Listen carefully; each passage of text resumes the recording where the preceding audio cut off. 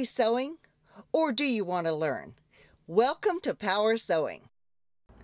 Hi, I'm Sandra Betzina. I'm Ron Collins. Today on Power Sewing, what we're going to do is show you how to make detachable collars. For example, you get one look with the collar on, but you see you can have another look. Do you see by just unsnapping it? Okay. Now, you don't have to unsnap it either because what I decided after sewing all these snaps on by hand that there's a faster way. But, you know, so if you don't like to do buttonholes, you can do snaps. But see, and so you have two different looks. So I had this piece of fabric. It was the most expensive piece of fabric I ever bought. It was cashmere and I loved it. And I couldn't decide what pattern to make because I thought I want to wear this coat every day. Okay. And I thought, well, you know, the coat that I really love, this is Vogue 1147. I made it in denim and this has this ruche collar. This is one of those wear over anything coat. Wear it over a sweater, anything, and you always look good, three quarter length. So I thought, this is the coat. And this is a ruche collar, and actually, this could be the same thing. You could make it detachable. It doesn't have to be fur. This one you actually sewed on. This one is the That's sewn on one, but I thought this is the idea. So, So if you don't have a pattern, to all right, I'm going to this, show you how you do it. Because, see, at first, if you have a pattern, I'll show you. If you don't, and if you do, if you have a pattern, see, this is the coat pattern. That's uh, the from the collar. collar, yeah. Okay, and so what you do is you measure it. Do you see around the seam line like that? And you notice how Sandra's measuring right on the seam Right line, Right on the seam line. also her measuring tape is standing on end. See, and you just kind of walk it around the seam line to the dot, you see, and then you want to fold it in half so that that would get, so I have 34 inches that here. Now, but that's also going to have to be, if, if that's going to be the collar, do you see, that's the neck edge, but this next edge has to be longer because that's fitting inside the garment, So that's like a collar band. like a collar band. Okay. So you can either do it that way, or let's say you've got a jacket that didn't have a collar at all. All right, so what I did is I just overlapped the seam allowances so I could take the measurement in Right. one, So this is your front facing. front and- facing your and the back facing, and I start at the center back and I just walk it around to the dot, okay? So once again, is- and this is 34 because that this is the facing for that coat. So do you see you measure times two and you want it at the t- uh, stop at the turn. So then what you do is now this has to be bias. So what I did is I cut up, I cut one side 34 inches long and then I cut the outer edge 36. And then you just curved or I curved it. curved it. Sort of See, like this is 34, Right. and then I did 36 because this is the, this is the part that's going to be going inside and it's bigger. So it's like a big overlap collar band. Right. Collar stand, right? And so now, and I cut the two on the bias because they've got to fit inside without being bulky. Now what I'm going to do is I'm going to stretch the outside edge. That's the longer one. So what I do is I have them both together, and I just stretch. Now, why would you stretch this? because this here's your neck, but it gets bigger out here, and quite a bit bigger actually, because you don't want it to buckle. So I'm just stretching like that, and you'll begin to see it's starting. See how I'm pulling on the long edge? I'm going around with some steam, and you can see it's starting to take shape. And the reason I want to have that, you see, that's going to go flat in between here. If I don't, if I don't stretch this enough, it's not going to go flat. So now I put right sides together. You wouldn't interface it. I could put a little interfacing on, but I usually use a fairly stable fabric and don't interface it because I don't want it to prohibit the mm-hmm. stretch. Now, if you were interfacing, would you put fuse interfacing on and then stretch it? Yes. And so I'd have the interfacing on the bias. Now, where we're going to sew, we're going to start at the short side, the neck side, mm-hmm. and go all the way mm-hmm. around the and finish at the other side. So you're going to sew this at a quarter, Quarter inch. inch. Now, you know, while he's sewing that, one of the things that I always do is I make a copy of the pattern that I think I'm going to use. And then I cut the seam allowances off And see, here's one when I was playing around with different shapes. I thought, well, maybe I'll even make one with a little dip in it, like this, a little notch cut out. So you can tell whether it's too big or not. And so when I did, when I first did this one, I made the smaller collar, and then I decided, well, I had this Mongolian lamb, why not use the bigger collar? So see, I made it big. And it actually looks bigger than the pattern because you see the, the edge itself of the collar is here, but the fur is long hair. And you want to make sure you cut it so the fur goes down.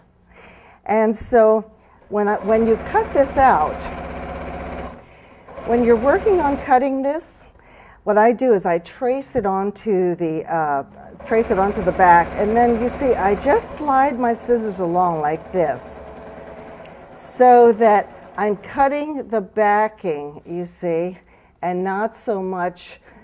See how just because I want this to kind of fall over. If you look at this jacket, you'll see that there's the edge and the collar just falls over like that. Now the good thing about this is I thought if I made this right, I could take this, and this one has buttons on it, and I'll tell you why I put buttons on.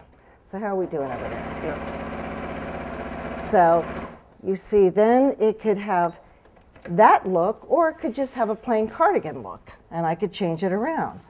Now, here it's sewn all the way around like that.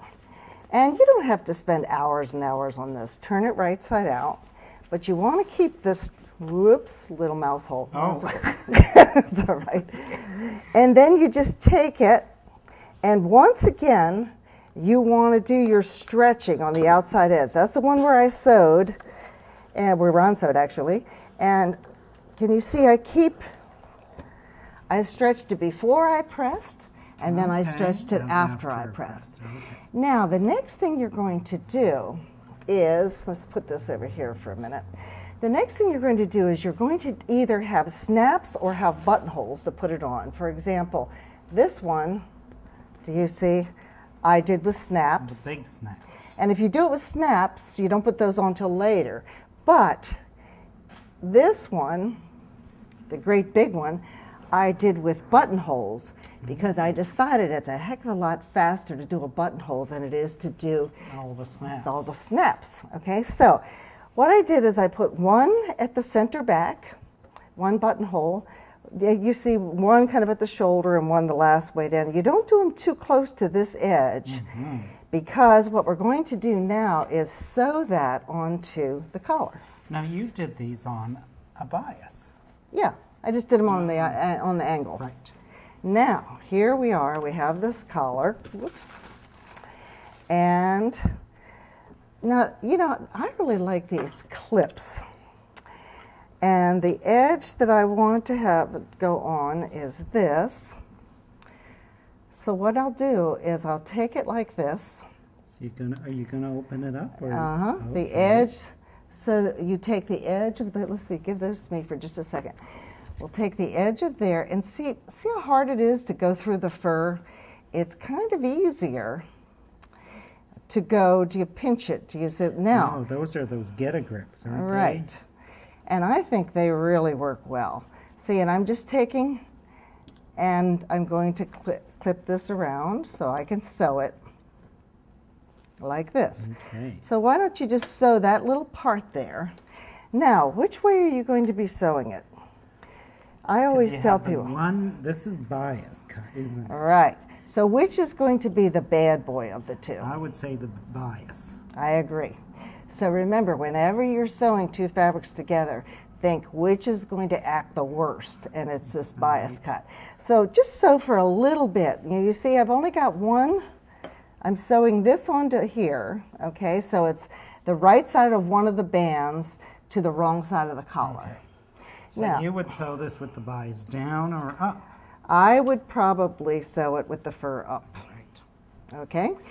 Now, if you noticed on that fur collar, I just used the skin as the under collar. Sometimes you might line the collar, and that's fine, but I find that, see, on this one, I actually lined the collar before I added it to the band. See, this is the lining, and then I put it on the bias band. But that's because this is a faux fur. Whereas this, if you line it, I think it kind of inhibits the drapiness of it because Right. that's the beauty of it. Now what I did here, Sandra, I increased the stitch lengths to about 3.0. Very good. And we didn't put a leather needle in here. Yeah, usually if, uh, you can always, sometimes if you're not sewing too far, you can get away without the leather needle. But if a lot of the fur, sometimes they're just too thick. Now what and I'm also you- doing is trying to get this fur the out fur. of the the so now that we've tried it with the fur up, maybe in the future we try it with the fur down. If the fur is this curly. Now, if you're working with a lot, a lot of leather, I would suggest polyester thread over cotton. Yes. Right. And the reason for that is that the tannins in the leather will rot the cotton thread. So you definitely want to have polyester thread. All right, so we're getting ready for our next step. It's really not nearly as hard as it looks. There it is. Okay. Now, what Ron did is he sewed the neck edge of the fur to the neck edge of the band, and then the next thing is to tuck this under. Got a couple pins. See how we're going to just tuck this under right here to cover the seam. Now this was, what was, remember this was the neck, that was the length, and then we added two inches more on the outer edge. And then it was three inches wide. Now we've sewn it with a quarter, just tuck that under mm-hmm. like this. And then your next thing would be to top stitch it all the way around. Could you hand stitch too? Mine Yeah. it might be hard to get through that leather. Well, see, even this is not acting very good. Okay, uh, you could, if you hand stitch, you want to use the Glover's needle, and that would work. So now this is all set with the buttons. So then what you have to do is, here we are. Let's show it on both of them. In this case, what I did is I sewed a snap on each end and a snap in the center back and one in between. Okay. So would this be like at the shoulder seam? Right. Actually, right underneath the shoulder, because I thought if I sewed it at the shoulder seam, it would bump and make it higher. So I've got one center back, one right about here, and then one at the end. Perfect.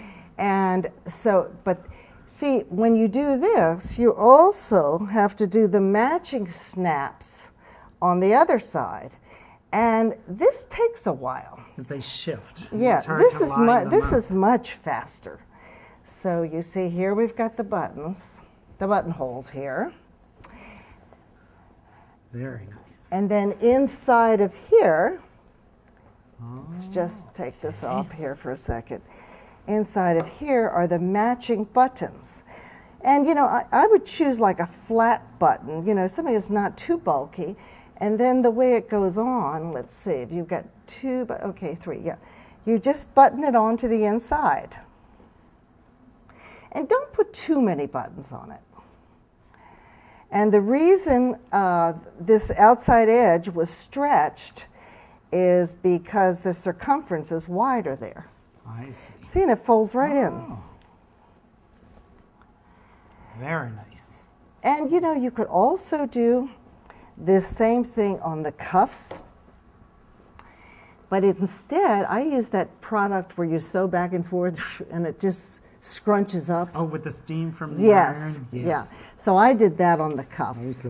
But see, you could do this on the collar. You know, you could make several collars, and it just I, I just love the way it changes the whole look. I love this this mad cat look. This is Mongolian lamb. And people always ask me where I got that. I get that at Perfect Leather in Toronto. That's on King Street. Right. 555 King Street. We We've know it by heart as soon as we been get in. but you can call. And this is called Mongolian lamb. They have, uh, they have like a burnt orange, they have burgundy, they have black. This is kind of the mixed color one. Uh, the pink is ugly, and so is the turquoise, very ugly.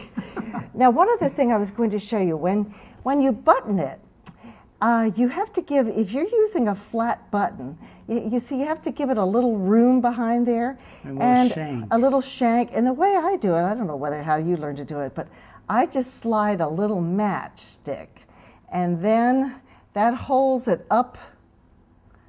Do you see? S- For while you're sewing, oops, hold on, I better come up through this way. You see, you come down here,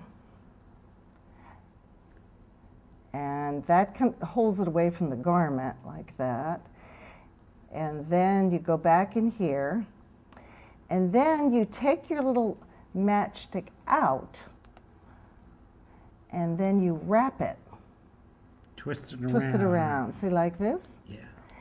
And what that did is that made the mm. button stand away a little bit from here, from the fabric, so it makes it easy to uh, button on and off because you And don't want it does- so bulky. I do the same thing for shirts because if you if you sew the button on flat, Just flat. and you put it through the buttonhole, what it does, it bounces back. The, the Yeah, little it kind of kind of makes a funny thing. So a little shank is really good, and always use beeswax thread, and then just knot it off. You know what I'd also do after I knot it off and cut the thread? I take a little fray block, put a little dab Ah, in there. Good idea. Good idea. He doesn't like to sew buttons on a second time.